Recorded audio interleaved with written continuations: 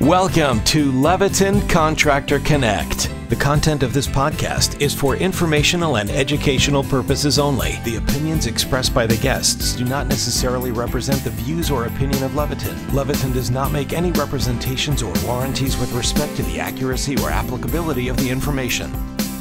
Hi, welcome to Leviton's Contractor Connect podcast series. My name is Tom Degnan, and I am the Contractor Channel Manager at Leviton. It's my pleasure to welcome ETA Director Marty Riesberg and ETA Strategic Account Manager Wayne Brown to the podcast.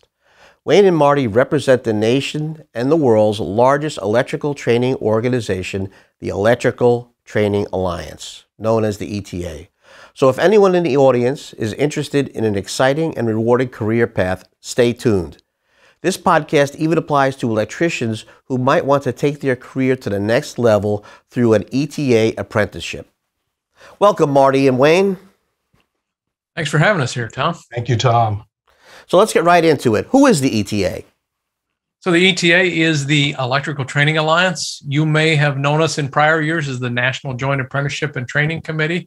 But we are essentially the training arm of the IBEW and NECA across the country. So the International Brotherhood of Electrical Workers and NECA, the National Electrical Contractors Association, we provide the training for those organizations and their apprentices. Very good. And uh, just for the uh, interest of our audience, I want to point out there that there are other good uh, training organizations out there. Just in the uh, at Leviton, we, we support all the uh, training organizations, electrical training organizations, and a few of them, the IEC, Independent Electrical Contractors Association, and then uh, smaller regional training organizations throughout the country. Um, so let's get right into uh, the bottom line for somebody interested in pursuing a career uh, with the or, or, with the IBEW or ETA uh, training. Uh, what does it entail, and what compensation can they expect? Well, what's offered is a, a inside wireman program. It's a five-year uh, program, and um, the student will come on uh, as an apprentice, and after five years, upon graduation, they become a journeyman. Um, and all during this training, uh, they're paid to go through the process, um, meaning that when they graduate, they're not indebted to anyone. It's not that they owe any college uh, tuitions or anything, but they're paid on the job as they go. Uh, benefits are fantastic for them. Uh, and I can attest to, as three of my sons oh. graduated uh, about 12 years ago, and as of last year, uh, are in business for themselves as they've moved on to uh, wow. uh, have their own industry. That's terrific.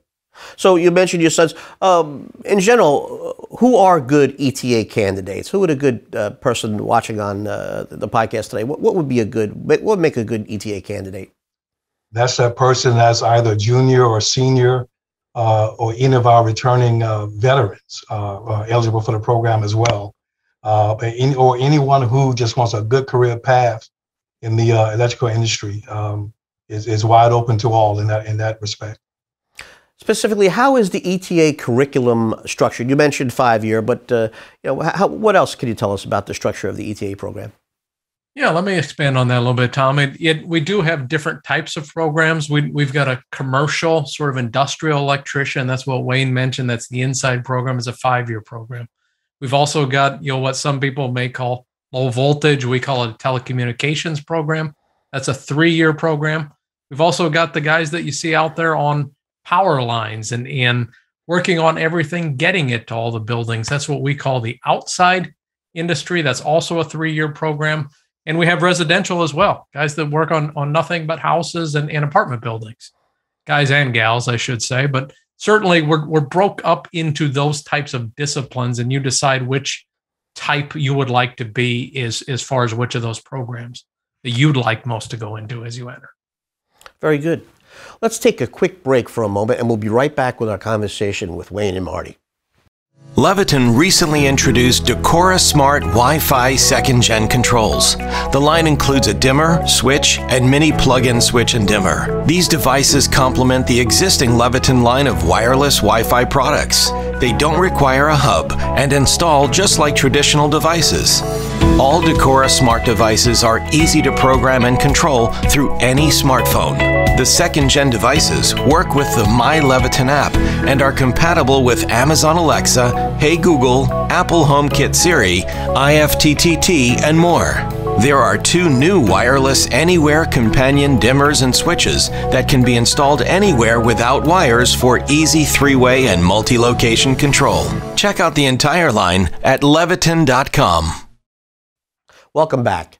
If you're just joining us, I'm Tom Degnan with Leviton, and we're talking about electrical training with my guests Marty Riesberg and Wayne Brown of the Electrical Training Alliance. Gentlemen, where do IBEW journeymen typically work? That's a great question, Tom. You know, it, it, by far our largest program is that commercial and industrial program.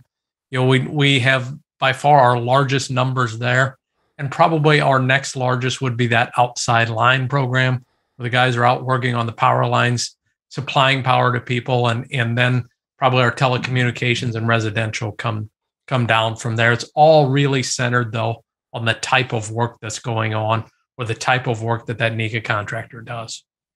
Very good. Uh, the person themselves, the, the, the rank and file, tell us what it means to be a union installer. Yeah, I think it's it's important, you know, having been one myself, it's somebody that that really likes at the end of the day to see the work that they've done and see something stand there. You know, something that, you know, it's it's different from sitting at a desk all day. You can actually see your progress at the end of the day. You can drive by the building you can say, look, I helped build that right there. There's always that sense of pride in what you've worked on and been able to, to do throughout your career. No, that's terrific. How does the ETA IBEW model different, differ from the neighborhood electrician that we all know and relate to?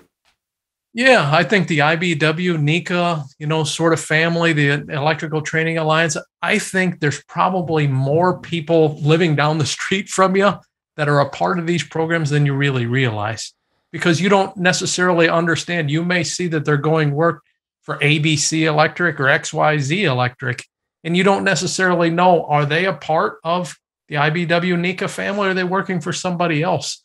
You know, in many cases, though, as I said, more often than not, we're on the commercial industrial buildings and don't do maybe quite as many of the residential or the service call sort of stuff. It's just again the market that that NECA contractor happens to uh, do their business in. That's great. That's good information. And for the people uh, listening and watching today, I just want to point out that if you want to get a, a really good feel for what the uh, uh, IBEW uh, guys typically do, is they have a uh, what they call the IBEW Power Hour TV newsletter.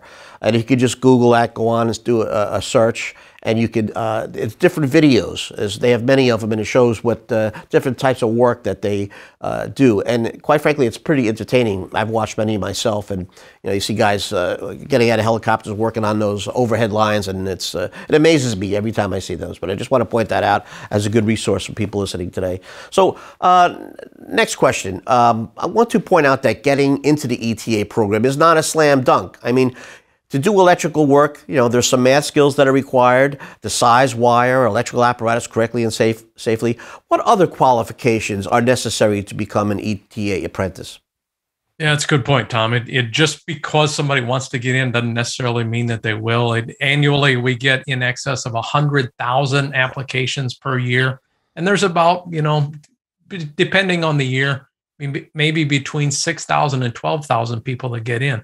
They're certainly not a slam dunk, to use your point. But really, the only two requirements are, you know, a math, you know, passing grade in algebra, and you have to be over the age of 18. Other than that, there are no, and that's Wayne's earlier point that anybody at all that wants to to go and work with their hands and, and maybe work out in the elements, those sort of things, they're all welcome. That's terrific. Okay, so uh, now that the audience knows the rewards, the buy-in, how would they apply, and what's the first next steps for for somebody interested? Well, and, and I think to your earlier point, Tom, I, I think whether you go to IBEW Hour Power or you look at electric TV, or we actually have a, a site, you know, constructyourfuture.com, go out and find out about these trades and, and learn about that. And as you do that, if you wanted to get in specifically to the electrical trade, you know there's other trades that you could look into but there are training centers there's about 285 training centers across the country go to our website theelectricaltrainingalliance.org there's a map on there find your local training center and, and just go in there and make the application. Wow, terrific. As a leader in the electrical industry, Leviton is a proud platinum partner of the ETA, and we support their program and training centers across the United States. This concludes today's podcast. Wayne and Marty, I'd like to thank you both for joining us. Thanks for having us. We're proud Thank to you, work Tom. with Leviton. And thanks to our audience for joining us too. Our podcasts are structured as a quick listen. We invite you to check out other podcasts, which can be found at leviton.com slash contractor connect podcast. Bye for now, and we'll see you next time. Attention electrical professionals. Join the Leviton Pro Rewards program to start earning rewards for your smart product enrollment. Sign up today and receive 100 free bonus points. Visit my.leviton.com/pro to get started.